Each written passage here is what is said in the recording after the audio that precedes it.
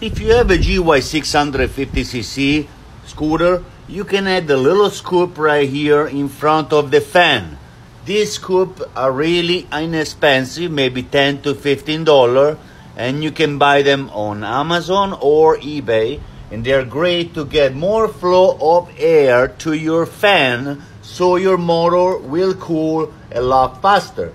Now, make sure you're not gonna put them like that because if you if you put them way up, they will take water coming in to your fan. Instead, you want to only take air. So try to put them in the way that they are not going to get a lot of rain. Okay.